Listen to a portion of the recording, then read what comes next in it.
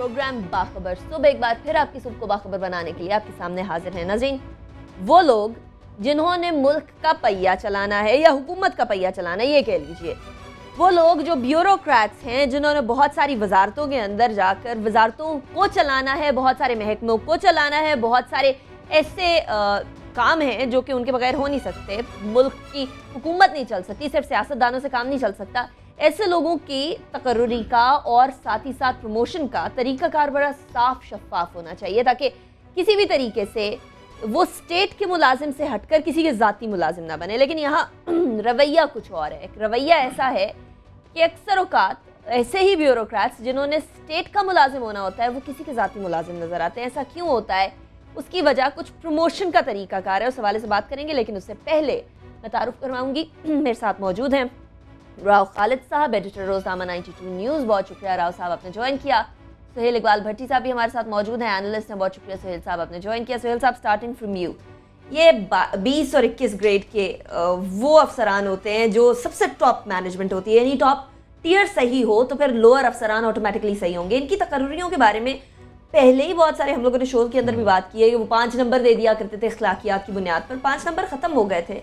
लेकिन कुछ तरीकाकार वापस वैसा अपनाया जा रहा है ये क्या मसला है अनिका देखिए सेंट्रल सिलेक्शन बोर्ड का पाँच रोज़ा इजलास जारी है जिसने ग्रेड उन्नीस से बीस और बीस से इक्कीस में मुख्तलिफ़ अफसरान को तरक्की देने के मामले को जेर गौर लाना है लेकिन ये माजरा कुछ इस तरह से है कि जब मई 2015 के अंदर सेंट्रल सिलेक्शन बोर्ड का इजलास हुआ था हम्म। उसके अंदर उस वक्त प्राइम मिनिस्टर हाउस से जो तरक्कीों की पॉलिसी है उसके अंदर कुछ ऐसी तरमीम करवाई गई थी एक ऑफ़िस मेमोरेंडम के ज़रिए जिसके हम्म। नतीजे में चुरानवे अफसरान नज़रअंदाज हो गए थे तरक्की हासिल नहीं कर सके थे चूँकि उसके अंदर एक ऐसा क्राइटेरिया बना दिया गया था जिसके बुनियाद के ऊपर मुख्तलिफ़ अफसरान को पाँच नंबर दिए गए थे जिसके अंदर और जो और अफसरान थे जो सीनियरिटी के ऊपर डिजर्व करते थे कि उन्हें प्रमोशन मिलनी चाहिए हम्म। उनको पाँच नंबर ना मिले जिसकी वजह से वो प्रमोशन हासिल नहीं कर सके थे। और वो पाँच नंबर किस बुनियादों पर किए जाते थे? इंटेलिजेंस एजेंसियों से रिपोर्ट मंगवाई जाती थी मुतल वजारतों से पूछा जाता था कि इस अफसर का कंडक्ट कैसा है इखलाकी लिहाज से कैसा है और क्या किसी करप्शन में इन्वॉल्व तो नहीं है? उन उन बेसिस को उन उन बेसिस के ऊपर उनको उनकी तरक्कीों को टर्न डाउन किया गया। लेकिन उस वक्त चौंसठ अफसरान जो चौरानवे अफसरान मुतासर हुए थे जबकि चौंसठ ने तरक्की हासिल कर ली थी। उसके अंदर उस वक्त के प्राइम मिनिस्टर के प्रिंसिपल सेक्रेटरी फवाजन फाज साहब भी शामिल थे। ए डी खाजा भी थे डॉक्टर तोकीर साहब भी थे।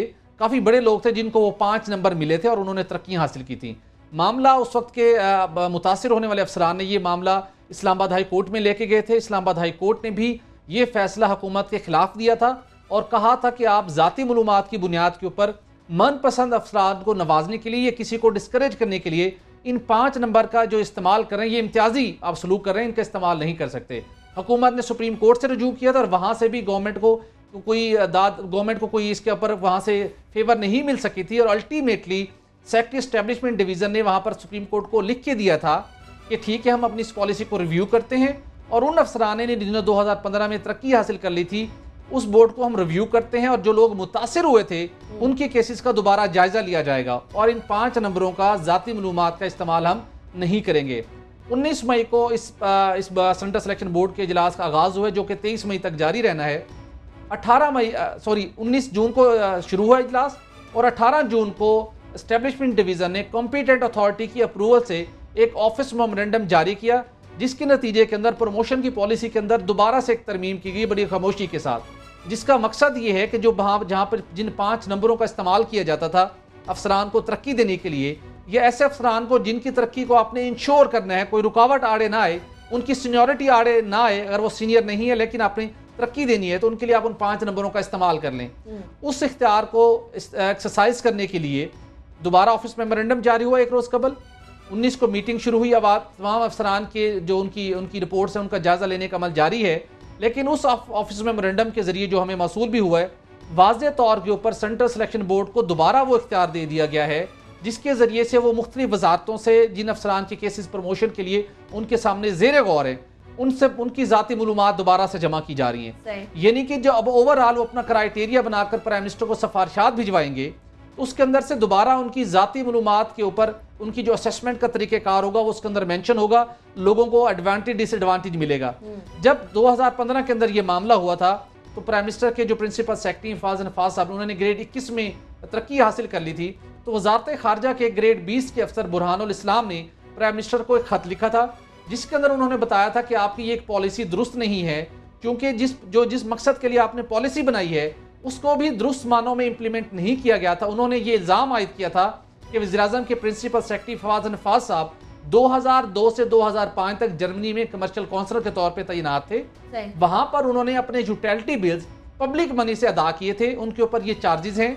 लेकिन उसके बावजूद आपने उन पाँच नंबरों का इस्तेमाल गलत किया है।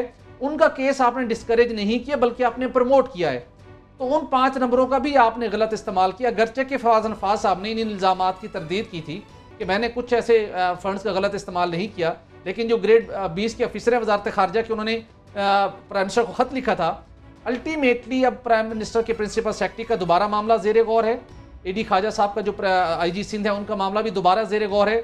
और दीगर ऐसे अफसरान हैं जिनको हुकूमत समझती है कि उनको तरक्की हर सूरत मिलनी चाहिए। अब ये बोर्ड अपनी तमाम जो ज़ाती मालूम को भी बेस के ऊपर और अपनी रिकमेंडेशन देगा जो रिपोर्ट्स मंगवाई जा रही हैं ये तमाम रिकमेंडेशन तैयार करके प्राइम मिनिस्टर को भिजवाई जाएँगी।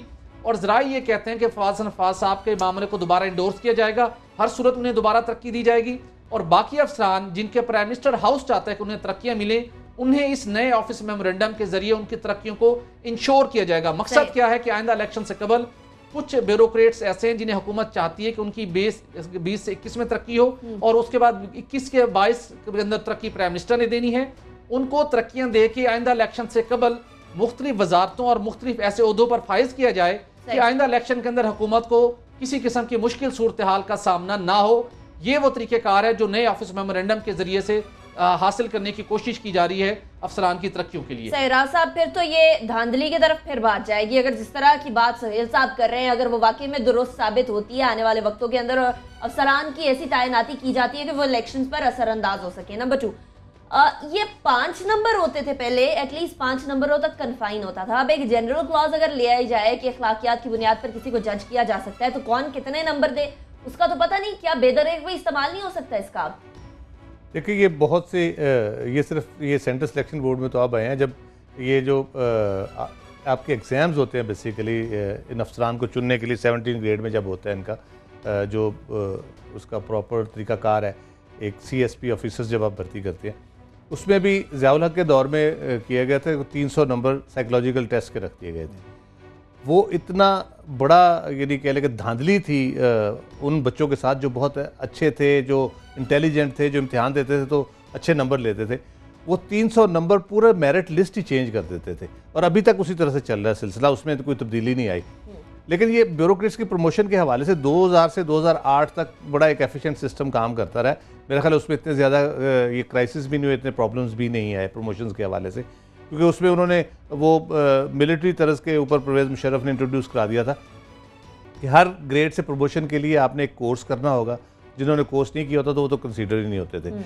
अगर कोर्स आपने किया तो उसमें आपकी क्या परफॉर्मेंस रही है? वो चार महीने पाँच महीने आप जो कोर्स करते थे उसमें आपकी वैल्यूएशन भी प्रॉपर हो जाती थी। हम्म। अच्छा तीसरी चीज़ ये है कि सुप्रीम कोर्ट ने बड़े फैसले दिए हुए हैं इसके ऊपर प्रमोशन के हवाले से। उसमें सीनियरिटी कम फिटनेस का फार्मूला एक जो यूज़ किया जाता है, उसको इंडोर्स किया हुआ है सुप्रीम कोर्ट ने। तो सीनियरिटी कम फिटनेस के ऊपर जब आप जाते हैं तो उसमें ये इंटेलिजेंस रिपोर्ट्स प्लस उसका ओवरऑल रिकॉर्ड जो है, और अगर कोर्सेज वगैरह का उसमें जो एडिशनल एक एडवांटेज होता है, वो सारी चीज़ें मिला के उसको किया जाता है। लेकिन ये तो काम ही और हो रहा है ना, ये तो फील्डिंग सेट की जा रही है बुनियादी तौर पे 2018 के इलेक्शन के लिए तो ये इसी तरह से होगा। फिर यह कि जब आप मैार हुक्मरानों से वफादारी बना लेंगे प्रमोशन का तो उसमें आप कोई भी रूल अप्लाई कर लें। उन्होंने अपनी मर्ज़ी करनी है उन्होंने मैार वही रखना है। उससे क्या होता है जब आप वफादारी की बुनियाद पर प्रमोशन करते हैं तो जितनी आपकी ब्यूरोक्रेसी है वो बजाय इसके कि अपना काम करे वो हम्म। चापलूसी पे लग जाती है। वो हुक्मरानों को खुश करने के लिए लग जाती है। अगर बहुत ज़्यादा नहीं तो 50 परसेंट ज़रूर ऐसे लोग होंगे जो ये चाहते होंगे कि उन्होंने एक कैरियर अडॉप्ट किया उसमें आगे चल बढ़ें। आगे चलें हम्म। कुछ रजिस्ट करते होंगे फिर उनको ऐसा समझ आ जाती होगी उन्नीस बीस ग्रेड में आके कि नहीं भाई ये चापलूसी का काम नहीं चलेगा। तो काम तो ख़त्म हो गया ना उनका जो ब्यूरोक्रेसी को एफिशिएंट होना चाहिए जिसने गवर्नेंस करनी है जिसने सिस्टम चलाना है पूरा बेसिक बुनियादी कल पुर्जे हैं हुकूमत के वो जब इस बुनियाद के ऊपर उनकी प्रमोशन शुरू हो जाएगी तो उनकी एफिशिएंसी का लेवल ना होने के बराबर रह जाएगा। वो कोशिश करेंगे किस तरह इसको खुश करें उसको किस तरह खुश करें प्रमोशन किस तरह लें तो यही उसका नतीजा फिर निकलता है जिस तरह की अब हमारी ब्यूरोक्रेसी हो चुकी है ओवरऑल जो है जो गवर्नेंस की हम जब बात करते हैं हुक्मरान तो जैसे हैं सो हैं लेकिन जो एक सिस्टम ब्यूरोक्रेसी चला लेती थी जैसे जैसे हुक्मरान भी होते थे वो भी एक मफकूद हो गई है वो चीज़। अब वो एफिशिएंसी वो लेवल नहीं रहा। सारे चापलोस किस्म के खुशामदी किस्म के अफसरान लगा दिए जाते हैं आला उहदों पे। समटाइम्स उनकी क्वालिफिकेशन भी नहीं होती वो जिस पे वो लगा दिए जाते हैं। बहुत से हमने देखा है कि उन्होंने वो टेलर मेड जो हम कहते हैं कि पोस्ट क्रिएट की जाती है फिर लोगों को ला के लगाया जाता है। तो इस तरह की जब बात होगी तो किस तरह से आपका सिर्फ़ निज़ाम हुकूमत किस तरह चलेगा?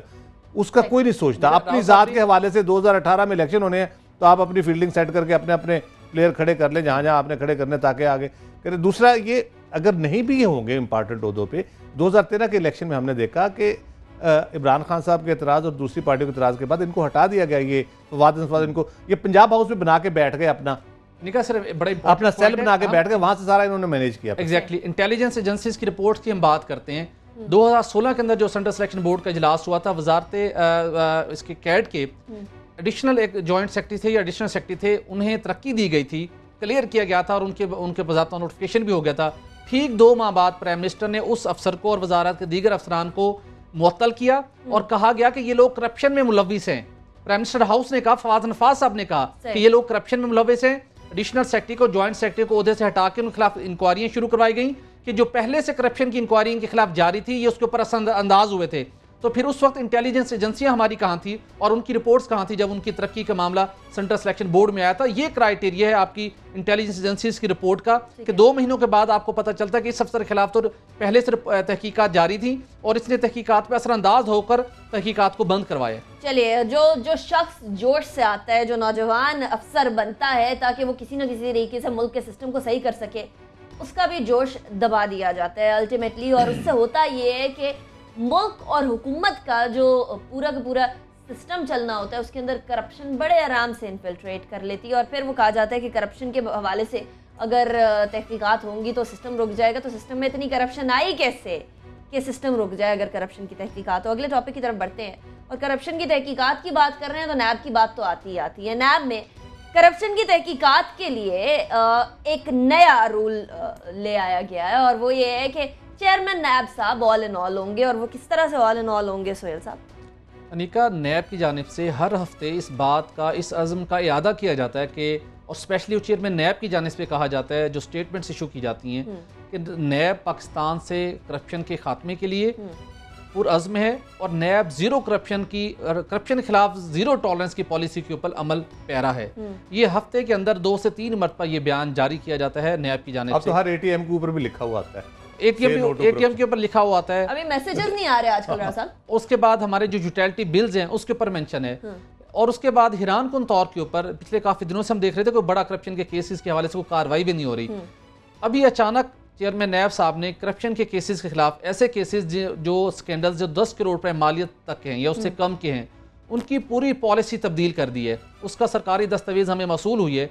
उसके मुताबिक चेयरमैन नैब ने तमाम डायरेक्टर जनरल जो नैब के ब्यूरो ऑफ़िस ब्यूरोज हैं उनके इख्तियार को कम कर दिया हिरान तौर के ऊपर हम्म। नैब के अपने रूल्स के अंदर ये मौजूद है कि एक डीजी करप्शन केसेस के अंदर सिवाय ग्रेड 20, 21 या या किसी एमएनए या मिनिस्टर का केस हो हम्म। उसकी उसने हेड क्वार्टर से चेयरमैन नैब से मंजूरी लेनी है अदरवाइज़ वो दूसरे केसेस की खुद से इनिशिएटिव्स ले सकता है उनकी इंक्वायरी शुरू करवा सकता है उनके खिलाफ उनके गिरफ्तारी के वारंट जारी करके किसी भी शख्स को गिरफ़्तार करवा सकता है। लेकिन हिरान कन तौर के ऊपर चेयरमैन नैब ने जो पहले से पॉलिसी इंप्लीमेंट थी उसको तब्दील कर दिया है। नई पॉलिसी जारी की है जिसके मुताबिक तमाम डायरेक्टर जनरल्स को पाबंद किया गया है हम्म। कि कोई भी ऐसा केस जो 10 करोड़ पैसे कम का होगा कोई भी शख्स उसके अंदर इन्वॉल्व हो आपने उसके खिलाफ इंक्वायरी चेयरमैन नैब की मंजूरी के बगैर आपने शुरू नहीं करनी। तमाम डायरेक्टर जनरल्स को पाबंद कर दिया गया सिर्फ़ यही नहीं उसके साथ ये भी कहा गया है कि अगर किसी आपने को पहले से इंक्वायरी शुरू की हुई है, दस करोड़ एक बड़ी रकम है। लेकिन अगर उसके अंदर आप समझते हैं कि किसी शख्स को आपने गिरफ़्तार करना है तो उसकी गिरफ्तारी भी आप खुद से नहीं करेंगे, बल्कि आप नैब हेडक्वार्टर से रजू करेंगे चेयरमैन नैब से मंजूरी हासिल करेंगे, मंजूरी हासिल करने के बाद आप उसकी गिरफ्तारी करेंगे उसके बाद कहा गया कि आपने कोई नई इंक्वायरी शुरू करनी है तो चेयरमैन नैब से मंजूरी होगी, और जो मौजूदा इंक्वायरी इंक्वायरियाँ जारी हैं, उनको अगर आपने अपग्रेड करना है, उसके अंदर आपको कोई सबूत मिल गए उसको आपने इन्वेस्टिगेशन में कन्वर्ट करना है तो चेयरमैन नैब की मंजूरी के बगैर आप नहीं करेंगे। उसके साथ एक और ये कहा गया कि जो मौजूदा केसेज हैं दस करोड़ रुपए माली तक के उनको एक माह के अंदर तय करें और ऐसे केसेज जिनको नैब समझता है कि हमें ये नहीं करने चाहिए वो आप दस करोड़ से कम में एफ़ आई ए को भिजवा दें नैब उनके ऊपर कार्रवाई नहीं करेगा। ये बड़ी हैरान कन मूव हुई है। उस वक्त जब चेयरमैन नैब अक्टूबर में रिटायर होने जा रहे हैं उनकी मुद्दत मुलाजमत पूरी होने जा रही है और हुकूमती हल्कों के अंदर ये बात गर्दिश कर रही है कि हुकूमत ने चेयरमैन नैब को अभी से ही एक और अहदे की पेशकश कर दी है। वो बैरून मुल्क कोई तैनाती से मुतलिक हो सकती है एक किसी अहम इदारे में या सफारत खाने में या पाकिस्तान में बड़ी एक उनको उनको एक पेशकश की जाएगी मुलाजमत के। देखना होगा वो एक्सेप्ट करते हैं या नहीं करते। लेकिन अपने आखिरी दिनों के अंदर उन्होंने अपनी एक पॉलिसी को तब्दील करके ये कोई अच्छा काम नहीं किया। ये आखिरी दिनों वाली तब्दीलियाँ ले बैठी थी वज़ीर आज़म साहब। एक वज़ीर आज़म को आपको साहब पता ही है डेफिनेटली लेकिन इतना ज़रूर है कि चेयरमैन नैब साहब क्या चीज़ छुपाना चाह रहे हैं? और 10 करोड़ से ऊपर यहाँ तो करप्शन ही अरबों की होती है, कोई करोड़ों की बात तो बहुत कम होती है। तो अरबों की करप्शन के हवाले से सिर्फ़ डीजी का सिर्फ़ और सिर्फ़ 10 करोड़ तक बाकी सारी चीज़ें अगर चेयरमैन नैब की तरफ़ जाने लगी तो एक तो ये वर्कलोड दूसरा सुस्तरवी का शिकार, यहाँ तो एक नोटिफिकेशन बड़ी मुश्किल से होता है। ये तमाम के तमाम पलंदों की स्टैंप उसके ऊपर होना सिग्नेचर्स होना, उनकी अप्रूवल आना, ये कितना टाइम लेगा फिर? लगता है जाते जाते किसी को खुश करना चाह रहे हैं। कोई इस किस्म की मूव जो है इसकी कुछ कुछ तुक नहीं समझ आती कि दस करोड़ से कम अगर करप्शन होगी एक अफसर एक जगह पे पाँच करोड़ की करप्शन करता है दूसरी जगह पे जाके फिर तीन करोड़ की करता है तीसरी जगह जाके चार करोड़ की करता है प्रोजेक्ट्स अगर इस किस्म के होते हैं तो इसका मतलब है वो नैब तो केस पकड़ ही नहीं सकता उसका क्योंकि एक वक्त में मेरा ख्याल है दस करोड़ की होनी चाहिए किसी एक स्कैंडल दस करोड़ का होना चाहिए। अगर तीन चार स्कैंडल में वो दस करोड़ की करप्शन कर जाता है तो कोई इशू नहीं है इसके ऊपर। ये इनकी कारकर्दगी जो है वो थ्रू आउट द ईयर्स आपने देखा जिस किस्म की वो करते रहे और जिस तरह खिदमत की है उन्होंने हुदैबिया पेपर मिल में सबसे बड़ा एक्सपोजर उनका हुआ आके हुदैबिया पेपर मिल की अपील के सिलसिले में। जब सुप्रीम कोर्ट ने ये कहा कि हमारे लिए तो ये फौत हो चुका है और उन्होंने बड़ा डट के कहा उन्होंने कहा नहीं जी मैं अपील नहीं करूँगा। सुप्रीम कोर्ट के सामने खड़ा होकर मैं अपील नहीं करूँगा। हमारा तो ख्याल था कि नैब एक इंडिपेंडेंट इदारा है इंडिपेंडेंटली ये सारी करप्शन की तहकीकात करता है। और आज़ादाना तरीके से सारे इसके मामला चलते हैं। लेकिन ये अजीबो गरीब किस्म का नैब है जो सुप्रीम कोर्ट को बताता है कि जी नहीं हम अपील नहीं करेंगे इस केस में। और वो केस इतना ड्यूबियस डिसीज़न उसका है ओवरऑल जो लाहौर हाई कोर्ट से उसका आया था उसमें भी कोई ऐसा कह ले कि मेजॉरिटी जजमेंट भी नहीं थी। उसमें ऑब्जर्वेशन भी बड़ी रिज़र्व रिजर्वेशन शो की थी एक जज साहब ने उसके पूरे वाइंड अप करने के ऊपर। इसके बावजूद इस तरह का इन्होंने काम किया।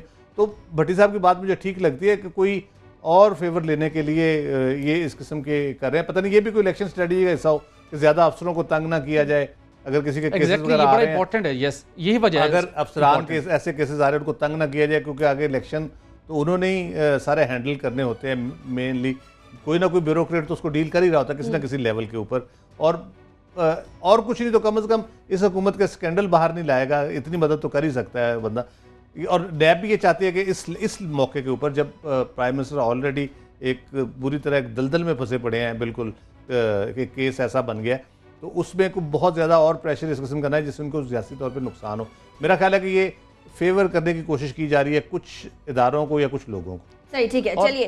तर्जमान नैब ने बड़ा इंपॉर्टेंट है उन्होंने कहा जी हमने इस प्रोसेस को मजीद बेहतर बनाने के लिए इनिशिएटिव लिए जो कि हमारी समझ से बाहर है। कि आपने डीजीज के इख्तियार क्लिप कर दिए और आप कहते हैं कि हम इसको मजीद बेहतर बनाने की कोशिश कर रहे हैं। ठीक है, क्या डीजी का ओहदा सिर्फ़ और सिर्फ़ टोटार और सिर्फ़ और सिर्फ़ ये दिखाने के लिए कि जी ओहदा है, उनको कोई अथॉरिटी देंगे तो वो अकाउंटेबिलिटी करेंगे? चेक्स एंड बैलेंसेस का निज़ाम अगर खुद वीकन वो इदारा कर देता है जिसने अकाउंटेबिलिटी करनी है तो फिर उस इदारे का जो पाऊँ है वो एक तरह से काट दिया गया। फाउंडेशन गलत पड़ गई तो फिर उसके बाद बिल्डिंग गलत बनेगी इन तहकीकात के हवाले से। अगले टॉपिक की तरफ़ बढ़ेंगे, पंजाब स्पीड की बात करते हैं। ज़रा वज़ीर आला साहब बहुत तेज़ी से तमाम चीज़ें करते हैं। चाइना तक उनकी पंजाब स्पीड के चर्चे है।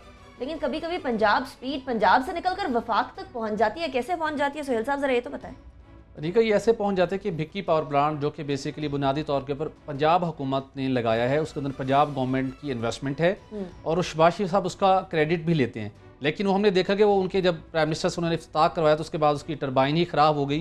उसके अंदर टेक्निकल फॉल्ट था पंद्रह से बीस रोज़ वो बंद रहा।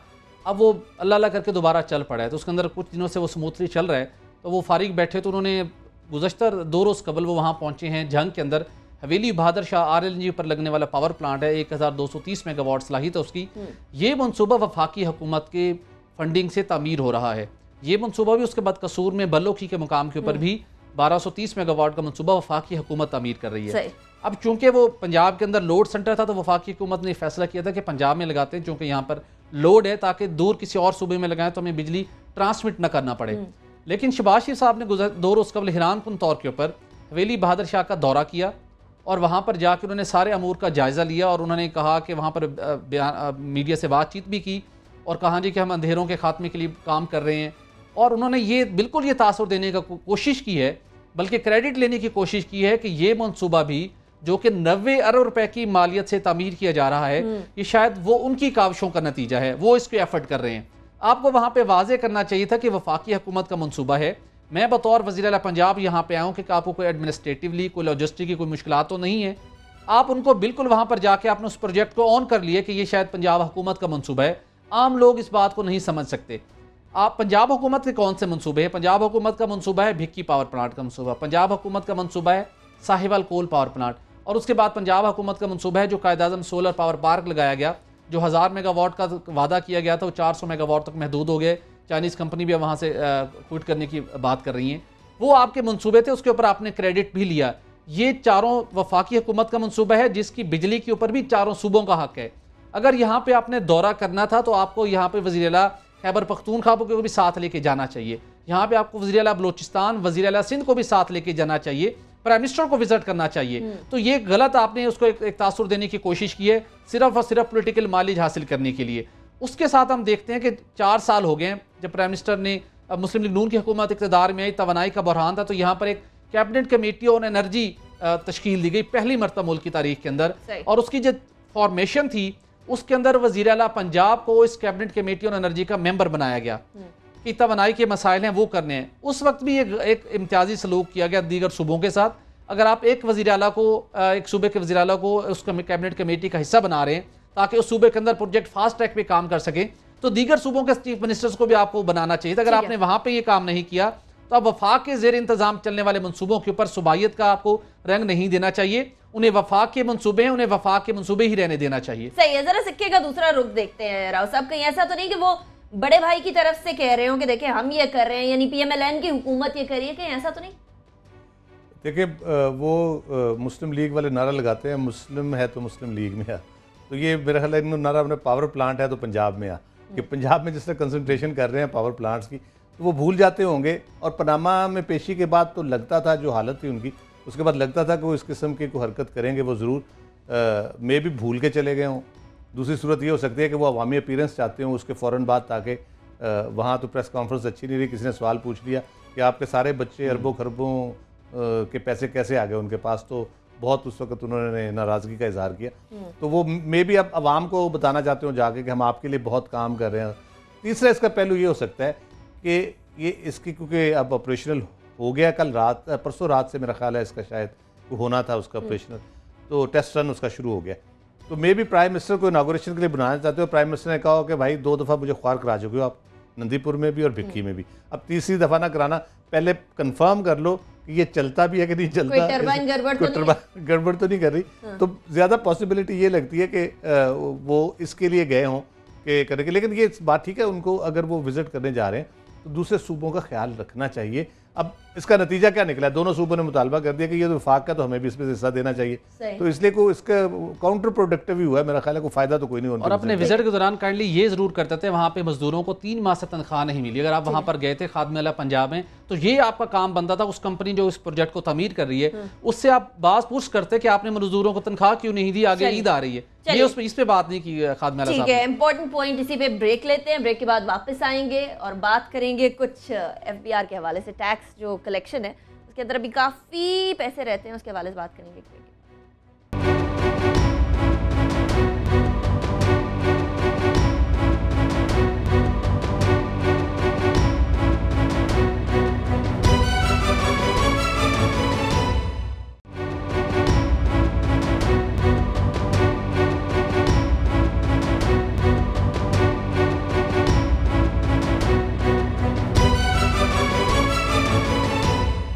वेलकम बैक आफ्टर ब्रेक नाजरीन एफ़ बी आर वो इदारा जिसने टैक्स कलेक्ट करना है, अभी चंद दिन बाकी हैं और अभी भी टैक्स की जो हद मुकर की गई थी, उस हद तक नहीं पहुँच पाए। ऐसे में टेक्सटाइल सेक्टर पर बुरी खबर तोड़ने वाले एफ़ बी आर जो है, जिसको कोशिश करनी चाहिए कि एक्सपोर्ट ज़्यादा बढ़े, ताकि और ज़्यादा ज़र मुबादला पाकिस्तान के अंदर आए, ताकि फॉरेन रिजर्व्स बढ़े। वो एक ऐसा कदम कर रहा है, जो कि जिसकी वजह से टेक्सटाइल सेक्टर को मसले का सामना है। सोहेल साहब क्या हो रहा है? एफ़ बी आर के हुकाम के ऊपर वैसे बड़ा प्रेशर है वज़ीर ख़जाना के जो उनका टारगेट था रवा माली साल के अंदर कलेक्शन का वो अचीव नहीं कर पाए। लेकिन अब अपना सारा गुस्सा शायद टेक्सटाइल सेक्टर के ऊपर और बरामदी मसनूआत दीगर जो हमारी हैं लेदर की और सर्जिकल की हम्म। उस शोबे पर उतारने अपना गुस्सा उतारने को तैयार बैठे हैं। माजरा ये हुआ है कि जो हमारा बरामदी टेक्सटाइल मसनूआत मसनूआत है उसके ऊपर मुख्तलिफ़ कंपनियों ने और उसके साथ लेदर और सर्जिकल जो की मसनूआत को एक्सपोर्ट करने वाली कंपनियाँ हैं हम्म।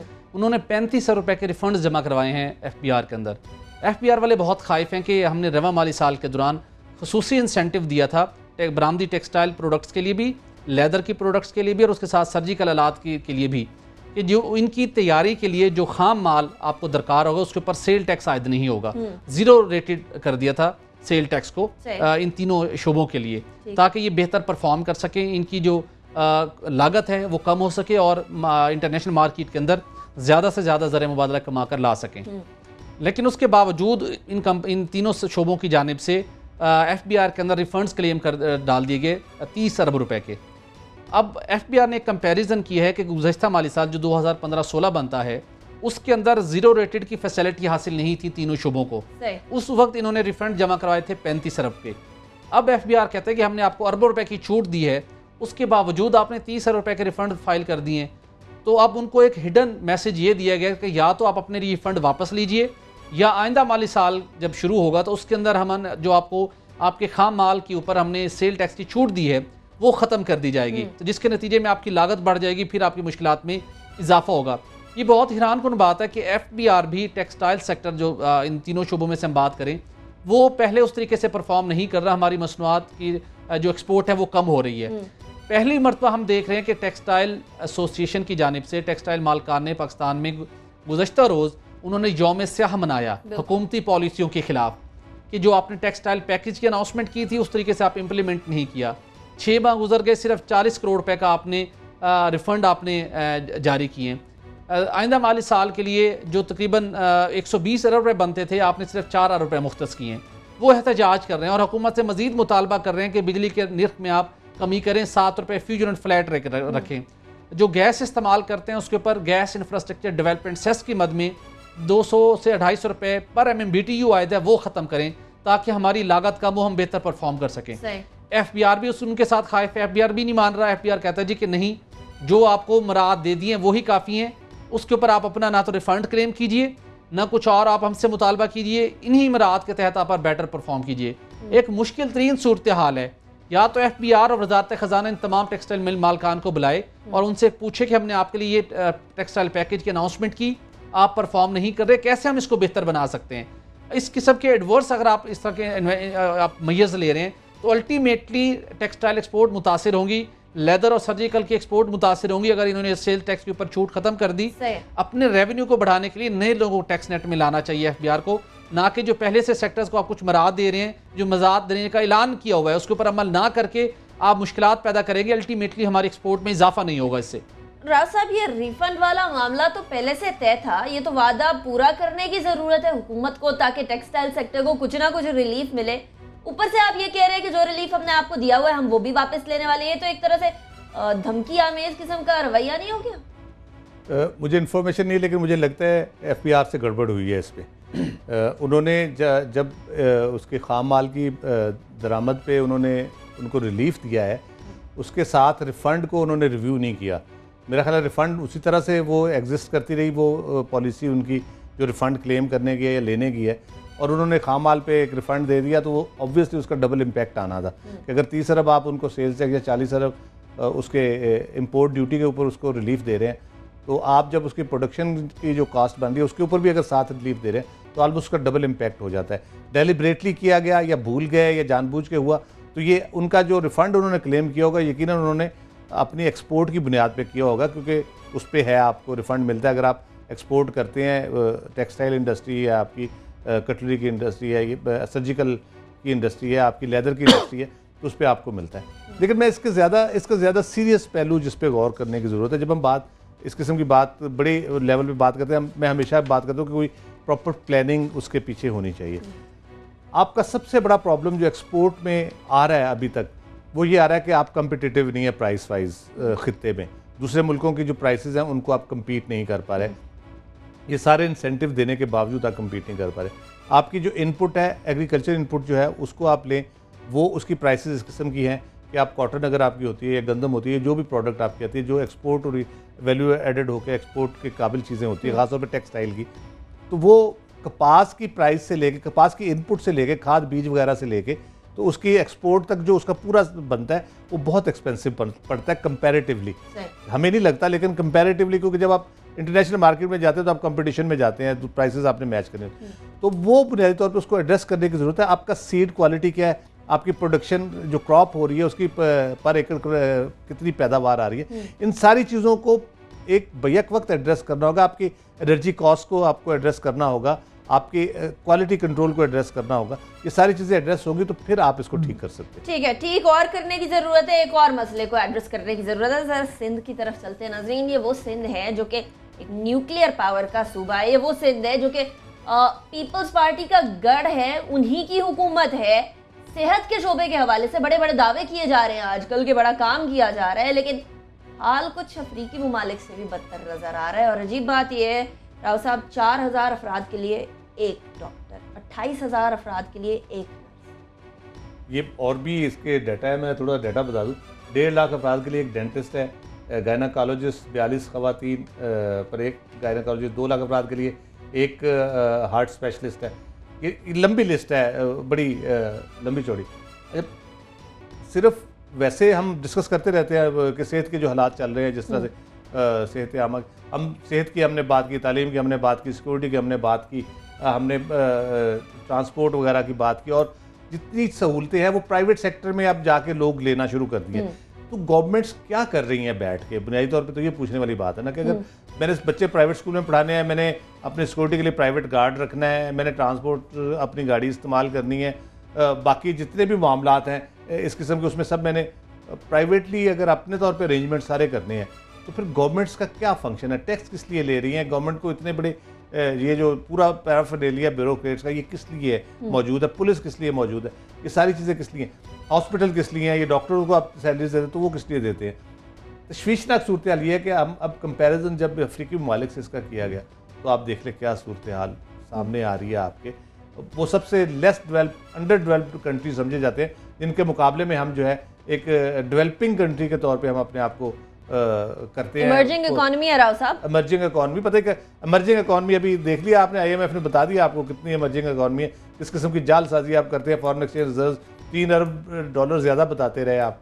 तो इस किस्म की इमर्जिंग इकोनॉमी झूठ बोल के तो आप नहीं बन सकते इमर्जिंग इकोनॉमी और ये पर्टिकुलरली ये जो फिगर्स हैं ये है स्टाफ के हवाले से स्टाफ की अवेलेबिलिटी के हवाले से। हम्म। आप हॉस्पिटल्स के हवाले से अगर देखेंगे तो मजीद गंभीर सूरत है। फिर आप अद्वियात की प्रोविज़न के हवाले से अद्वियात की फ्राहमी अवेलेबिलिटी के हवाले से फ्राहमी तो बहुत दूर की बात है फिर उनकी प्राइसेस के हवाले से जब हम जाते हैं तो इतनी दफ़ा हम डिस्कस कर सके सारे इश्यूज़ को प्राइसेस को भी डिस्कस कर चुके तो बहुत तशवीशनाक सूरत हाल है। और इस पर हुकूमत सिंध को अब तो मिन्नत ही की जा सकती है उनका तरला किया जा सकता कि खुदा का नाम लो भाई को आवाम का भी ख्याल कर लो। चलिए अच्छा सोहेल साहब यहाँ मसला ये है कि सिंध ज़रा कराची के हालात देख लीजिए। नई से नई बीमारियाँ उधर आती हैं। पानी साफ़ ना होने की वजह से वहाँ कितनी बीमारियाँ फैलती है। एयरबोर्न कितनी डिजीजेज हैं। घर का हाल देख लीजिए तो कायम अली शाह साहब कहते रहे कि इलाज की वजह से नहीं मेल न्यूट्रिशन की वजह से नहीं। बहुत सारे और रीजन बताते रहे, लेकिन वहाँ भी सेहत की सहूलियात देख लीजिए। वहाँ क्या हाल है? फिर ज़रा और ऊपर चले जाइए तो साउथ पंजाब के करीब वाले इलाके के अंदर भी हाल देख लीजिए। कि हो क्या रहा है सिंध के अंदर? अभी तो हम लोग सोच रहे थे कि शायद सेहत की तरफ़ कुछ ध्यान आया है इन लोगों का। अनिका, जब तक पीपल्स पार्टी की लीडरशिप और सिंध हुकूमत, वो इस बात को तस्लीम नहीं करेंगे कि सिंध के अंदर सेहत की सहूलियात इंतहाई नाकिस हैं, कम हैं, और उसके बाद ये जो ये मवाजना सामने है कि अफ्रीका से भी पीछे हैं सेहत के मामले के अंदर सिंध का शुबा तो मेरे ख्याल में उस वक्त तक बेहतरी का सिलसिला शुरू ही नहीं हो सकता। मुराद अली शाह साहब हों या पहले कायम अली शाह साहब थे अब ये किसी बात को मानेंगे कोई इनिशिएटिव लेंगे तो सूरत हाल बेहतर होगी। 2005 हम्म। के अंदर जो सिंध के अंदर जो हेल्थ पॉलिसी बनाई गई थी 10 साल का प्लान था वो इतना कंप्रीहेंसिव प्लान था उसके ऊपर फंड्स भी मुख्त किए गए लेकिन वो वो पॉलिसी सिर्फ़ फाइलों के हद तक महदूद रही। अगर उस पॉलिसी के ऊपर कुछ फंड्स जितने भी उसके लिए मुख्त हुए थे कुछ अरब रुपए या कुछ करोड़ रुपए उस पर लगा देते तो आज ये सूरत हाल ना देखनी पड़ती कि सिंध के लोग अफ्रीका के भी मुकाबले में भी उनको सेहत की सहूलियात कम उनसे मैसर आ रही हैं। उस अब इनके पास सिंपल सा एक हल है। अगर आपने ज़्यादा रातों रात अब इनकलाब बर्पा नहीं कर सकते मसाइल लोगों के वहाँ पर मौजूद हैं और लोग अब मुतालबा भी करते हैं। अब ये कंपेन पे जाएँगे हर गुजरते दिन के साथ सूरत हाल बदल रही है लोगों को भी शौर आ रहा है। अल्टीमेटली लोग मुतालबा करेंगे कि आपने हमारे लिए क्या किया है। हम्म। अगर आप ज़्यादा नहीं कर सकते आप उस दस साल पॉलिसी बहुत कम्प्रीहेंसिव बनी हुई थी उसको उठाएँ और उसके अंदर से कुछ कंपोनेंट को लेके आप ईयर वाइज इंप्लीमेंट करना स्टार्ट कर दें। हम्म। न सिर्फ़ कराची बल्कि सिंध भर भर के अंदर आबादी मुसलसल बढ़ रही है। आपकी अभी जो मरदमशुमारी के अदाद शुमार सामने आने आने हैं वो वहाँ पे अब जरा ये कह रहे हैं कि सिंध की आबादी बढ़ गई है। हम्म। पहले के मुकाबले में और पंजाब के मुकाबले में वहाँ पर आबादी का में अब इजाफे का तनासब ज़्यादा सामने आ रहा है। तो अल्टीमेटली आपको इकदाम करने पड़ेंगे। कोई इनिशिएटिव लीजिए और कुछ मनसूबे ऐसे शुरू कीजिए जिसके तहत लोगों को सेहत की सहूलियात मैसर होना शुरू अगर नहीं कर सकते तो इनको आउटसोर्स कर दीजिए तुर्की या चाहे चीन की किसी कंपनी को दीजिए सेहत के अंदर उनको सालाना उनको आप उनके एक बजट मुख्त करें उसको मॉनिटरिंग करें। कह दें कि हम आपको सेहत के सिंध के लोगों को हम सेहत की सहूलियत फराम नहीं कर सकते। आउटसोर्स कर दें फिर कोई प्राइवेट कंपनी ही इनको सेहत की सहूलियत फराम करेगी यानी कराची की सफ़ाई नहीं कर सकते। अब सिंध की सेहत का काम भी दूसरे को देना पड़ गया तो फिर सिंध हुकूमत कर क्या रही है? फिर ये सवाल होगा चार हज़ार लोगों के लिए एक डॉक्टर और जहाँ कराची के अंदर सबसे ज़्यादा दांतों की बीमारी है सिंध के अंदर डेढ़ लाख लोगों के लिए एक डॉक्टर अब ये हाल है, ये फिगर सामने आई है, यानी अफ्रीकी ममालिक से अगर बुरा हाल है तो फिर वो सारा का सारा हेल्थ बजट सिंध का जा किधर रहा है। अगले टॉपिक की तरफ़ बढ़ते हैं। बजट की बात कर रहे हैं और पैसों की बात कर रहे हैं तो गर्दिशी कर्जे की बात किए बगैर हम कैसे रह सकते हैं? गर्दिशी कर्जे की बात करें तो वो हुकूमत ने आते ही कहा था कि हम इस गर्दिशी कर्जे को उतार कर इस नासूर से जान छुड़ाएँगे पाकिस्तान की, लेकिन ये एक बार फिर सर उठा गया। और सर क्या उठाया? अब तो पाल पोस के बड़ा कर दिया गया इस गर्दिशी कर्जे को। हाल ये है कि अब इसे ख़त्म करने के लिए फिर मेरा आपका बिल राव साहब का बिल हमारे बिल में डाल दिया जाएगा क्या?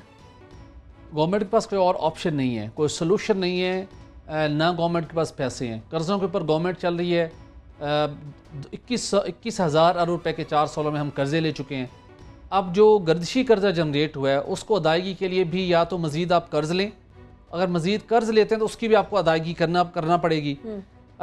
तैंतालीस अरब रुपए का पी एस ओ ने पी एस ओ का गर्दशी कर्जा जो दो हज़ार तेरह में था वो अदा करने के लिए पाकिस्तान इन्वेस्टमेंट बॉन्ड जारी किए गए थे।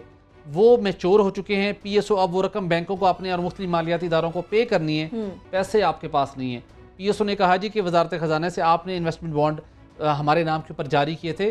अब पैसे दीजिए मेच्योर हो गए वहाँ पे उनको अदायगी करनी है। हर साल चार से पाँच हज़ार रुपये मार्कअप अलग अदा किए।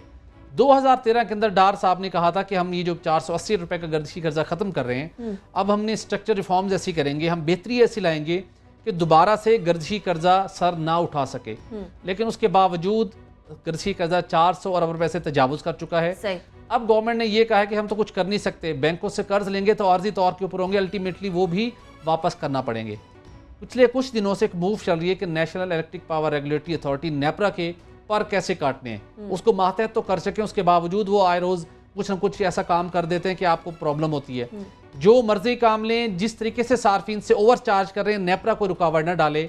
नेपरा के सी सी आई सी इन्होंने असूली तौर के ऊपर उसके जो नेपरा एक्ट है उसमें हम्म। तरमीम का ड्राफ्ट मंजूर कर लिया था जिसके मुताबिक नेपरा से जो टैरिफ डिटरमिन करने का अख्तियार है वो गवर्नमेंट के पास चला जाएगा।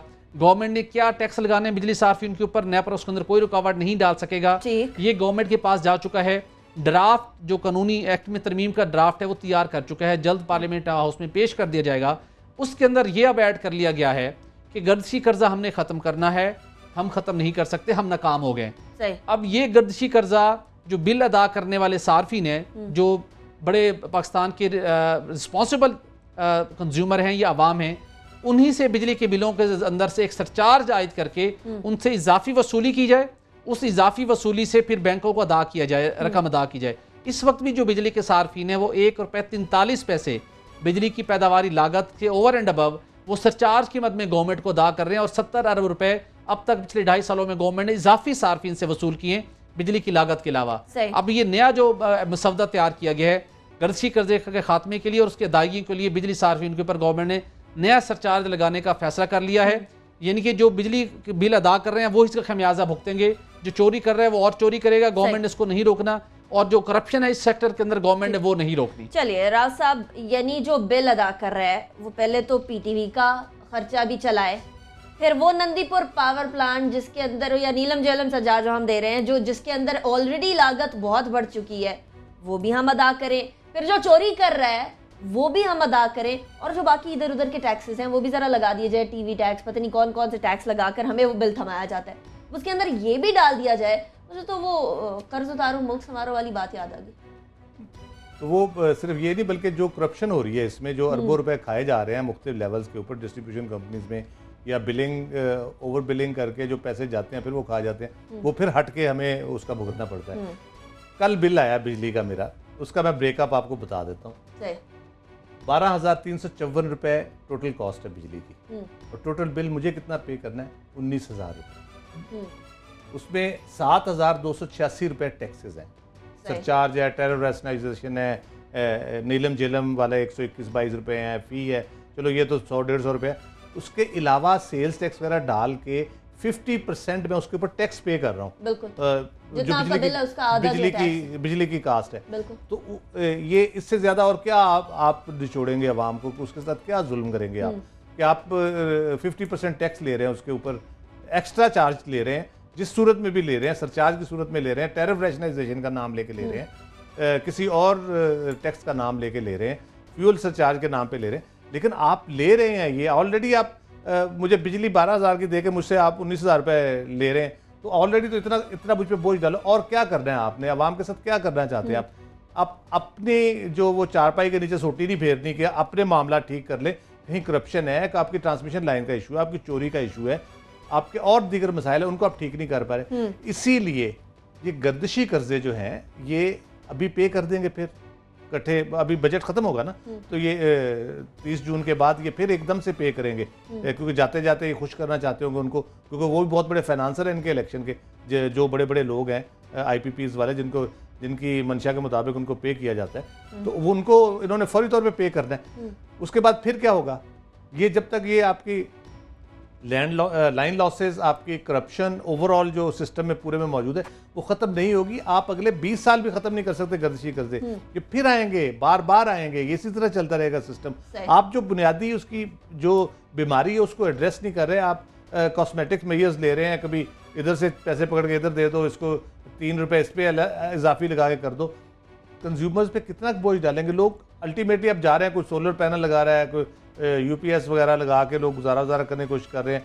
लोग फिर तो जनरेटर सोलर पावर की तरफ़ आ गए सोलर पैनल्स लगाने लग गए हैं अपने विंड मैं अगर मेरा ख्याल है मैं अगर जनरेटर यूज़ करूँ मेरे महीने का उन्नीस हज़ार का पेट्रोल खर्च नहीं होगा उसके ऊपर। क्या करें फिर- तो इसके ऊपर वो इसी तरह फिर लोग क्या करेंगे? मजबूरी में यही करेंगे कि ठीक है बिजली अपनी आप अपने पास रखो हम अपना काम चलाएँगे। साहब की तजवीज़ सुन के ये ना हो कि लोग जनरेटर लेके बिजली बनाना खुद शुरू कर दें। सोलर से अल्टीमेटली बिल बहुत बढ़ जाएगा। सोलर बहुत अच्छा सोल्यूशन है। इन्होंने पहले लोगों को ड्राई खुद ड्राई रखा कि सोलर के ऊपर जो है वो बहुत एक्सपेंसिव है ये है वो है।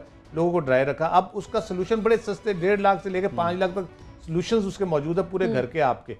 तो आप आराम से उसको चला सकते हो इन्वर्टर वाली चीज़ें आ गई हैं जितने आपके इक्विपमेंट है वो इन्वर्टर वाला आ गया बहुत लो वोल्टेज पे वो चल जाती हैं चीज़ें एसी समेत।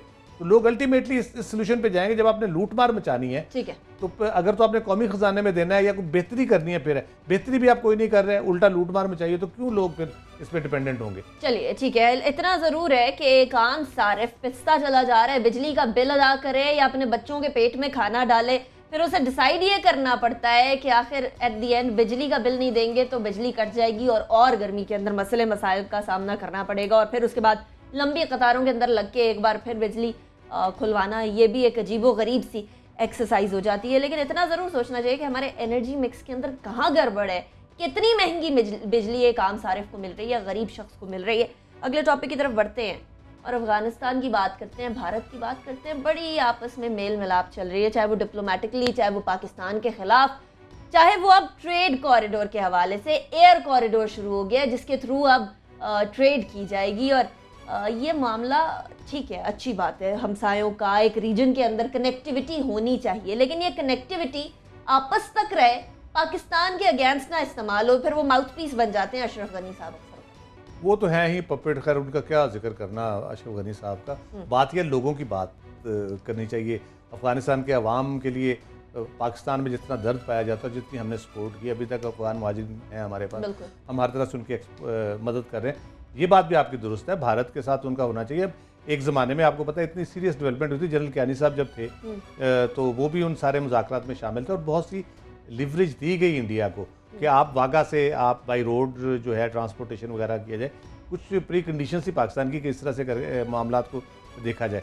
लेकिन उसमें जो बैकग्राउंड में चीज़ें चल रही थी वो ये थी कि जो स्ट्रेटेजिकली कोई ऐसी बात आप ना करें वहाँ पे जाके कि जो हमारे लिए नुकसानदेह हो हम्म। जिससे हमें बेसिकली नुकसान पहुँचे। इन प्रिंसिपल पाकिस्तान ने एग्री कर लिया था कि ठीक है जो अफ़गानिस्तान की जो इकोनॉमिक हेल्थ है उसको बेहतर करने के लिए इंफ्रास्ट्रक्चर डेवलपमेंट के लिए इंडिया अगर कुछ करना चाहता है पाकिस्तान को कोई इतराज़ नहीं है। हम्म। पाकिस्तान भी मदद कर रहा है इंडिया भी मदद करे जितनी मदद करना चाहता है करे। लेकिन हुआ क्या? ये कलभूषण टाइप केस आने शुरू हो गए। वहाँ से हमारे खिलाफ सारी वारदातें शुरू हो गई। जिसके बाद पाकिस्तान को इस पर स्ट्रिक्ट होना पड़ा।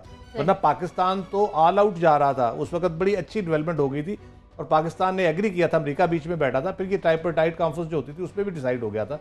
जो तुर्की में होती थी कभी पाकिस्तान में होती थी तुर्की पाकिस्तान अफ़गानिस्तान की। कि ठीक है इंडिया को हम रास्ता देंगे कि अपनी कमर्शियल एक्टिविटी करे सब्ज़ियाँ लेके जाना चाहता है सीमेंट लेके जाना चाहता है कोई और चीज़ वहाँ पहुँचाना चाहता है ट्रकों के ज़रिए बसों के ज़रिए लोगों को ले जाना चाहता है वो लेके जाए। लेकिन ये एक तरफ़ आप वो बगल में छुरी मुँह में राम राम वाली बात आप करेंगे तो फिर इस तरह से तो नहीं होगा। फिर आपको बाई एयर ही चीज़ें लाने ले जानी पड़ेंगी और यहाँ से आपको रीजनल कोऑपरेशन को आप सबटाज करते हैं बेसिकली ना सिर्फ़ पाकिस्तान अफ़गानिस्तान के हवाले से पाकिस्तान इंडिया के हवाले से बल्कि बाकी रीजन को भी आप उस पर हैंडीकैप कर देते हैं। सही है। अच्छा सोहेल साहब, अगर इकोनॉमिकली अफ़गानिस्तान स्टेबल होता है तो इसका फ़ायदा पाकिस्तान से ज़्यादा किसी को नहीं होगा? ये तो पाकिस्तान के लिए अच्छी बात है कि वहाँ दहशतगर्दी कम होगी, वो माइंडसेट चेंज होगा, पाकिस्तान के अंदर जो इन्फिल्ट्रेशन होती है हमारे ईस्टर्न बॉर्डर की तरफ़ से, वो कम होगी। लेकिन अगर भारत वहाँ इसी चक्कर में और बहुत सारे काम पाकिस्तान के खिलाफ बॉर्डर के करीब शुरू कर दे, जिस तरह मदर ऑफ़ ऑल बॉम्ब्स के अंदर बहुत सारे भारतीय मारे गए थे, फिर बात अलग है। अनिका एग्जैक्टली ऐसा ही होगा फितरी तौर के ऊपर अफ़गानिस्तान का तजारती जो उसके तल्लुक है, पहले पाकिस्तान के साथ बनते उसकी जो मुआशी, उसकी जितनी एक्टिविटीज़ हैं, उसकी तलब तलब अगर पाकिस्तान से पूरी ना हो पा रही हूँ, उसके बाद हम देखते हैं कि अफ़गानिस्तान ने तरक्की की बहुत सी नाजिल तय कर ली और उसके पास कोई ऑप्शन नहीं है कि वो इंडियन मार्केट को एक्सप्लोर करे।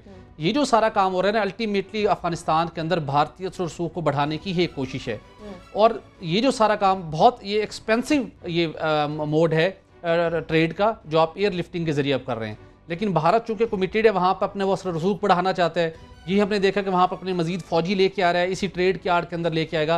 अल्टीमेटली हम्म। क्या होगा अफ़गानिस्तान और पाकिस्तान के तल्लुक मजीद कशीदा होंगे। भारत मजीद वहाँ पर बैठ के पाकिस्तान के खिलाफ साजिश करेगा हम्म। पाकिस्तान के अमन को ख़राब करने की कोशिश करेगा हम्म। तो अल्टीमेटली इसका कोई बड़ा फ़ायदा नहीं होने लगा अफ़गानिस्तान को अगर वो इसी स्ट्रेटजी के ऊपर अमल पहरा रहता है अगर सिर्फ़ प्योर तरीके से अच्छी नीयत के साथ इन्होंने ट्रेड करनी है तो वेल एंड गुड अदरवाइज़ जो इस वक्त का डिज़ाइन है वो पाकिस्तान के ना तो फेवर में ना अफ़गानिस्तान के फेवर में दूसरा अफ़गानिस्तान भारत के जितने ताजर है वहाँ पर अपनी वो बड़ी वहाँ पे अपनी रूटिंग कर चुके हैं हम्म। और उनकी कोशिश है कि वहाँ पर जितने अफ़गानिस्तान के नेचुरल रिसोर्स हैं और जो दीगर उनके वसाइल हैं उनको यूटिलाइज़ किया जा सके वहाँ से भारतीय ज़्यादा उसका बेनिफिट लें।